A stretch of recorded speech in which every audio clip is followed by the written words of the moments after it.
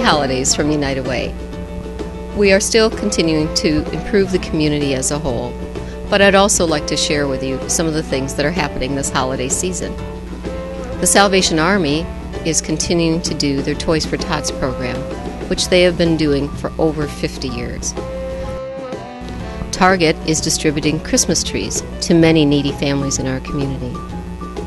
And many of the United Way staff is adopting a family, serving Meals on Wheels, are wrapping Christmas presents at Lindale Mall. I'm Lieutenant Christina Shogren with the Salvation Army, and we are here at our Toys for Tots distribution today, waiting for about 100 families to come in and choose from a variety of 5,000 toys that we have here today. I actually have a 16 year old daughter, a 11 year old son, and a 7 year old daughter.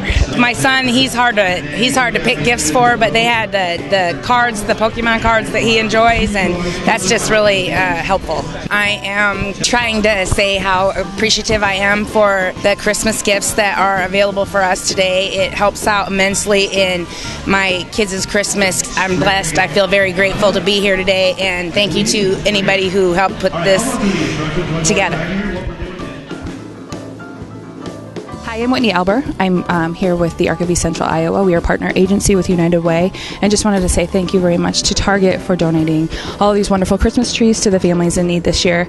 We've had several families express that they ha- don't have uh, Christmas trees, and so uh, with this help from Target, we're able to give four families in our agency uh, Christmas trees for the holidays. When I had approached the family about if they would be interested in having um, a tree donated to them, he said it made him re- feel really sad because it didn't feel like Christmas without a tree.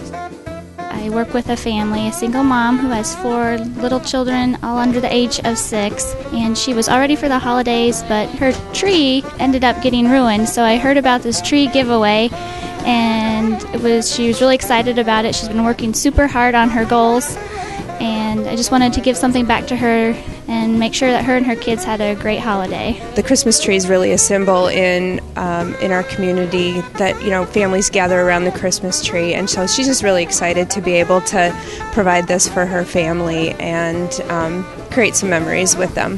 Thanks again to Target and United Way for giving us this opportunity to make this family's Christmas. Holidays from United Way.